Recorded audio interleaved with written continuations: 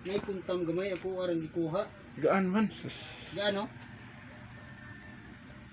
Imuha kol unsa ka Puro lang Kun. uhot. Ay, uhot ang puro tanan. pila ka kilogram sang imuhang uhot? Murag kuan ra ni ba? 400 grams ra ni. Ha? Ah, grabe sad. Lagi oh. Kaanra. Ni mga media na ni. Uhot man na. Kaso uhot lang gid siya.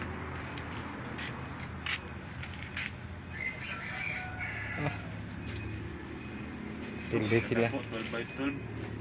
Pildi sila sa ato ah. Uhot dali ra kaya ni. Gisagulan man tani mo bagaso boss? Wala pa mo kung bagaso lagi. Sagulan ni mo bagaso mas mo expand pa iyahang kuan. Lifespan niya ba?